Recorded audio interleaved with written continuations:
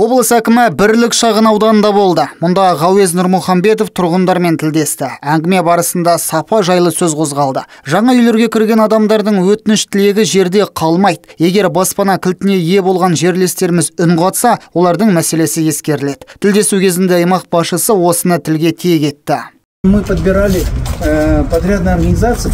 Біз құрылыспен айналысатын мердігерлерді таңдадық. Олармен келіссөз кезінде сапалы жұмыс жүргізуді тапсырдық. Адамдар бұл жерде тұрады сондықтан сапасыз іс болмасын. Одан қалды барлық шағымға құлақ түріңіздер. Бірде бір тұрғынның өтініші елеусіз қалмасын. Үйлердің екі жылдық кепілдігі бар. Мердігерлер мұны жақсы біледі.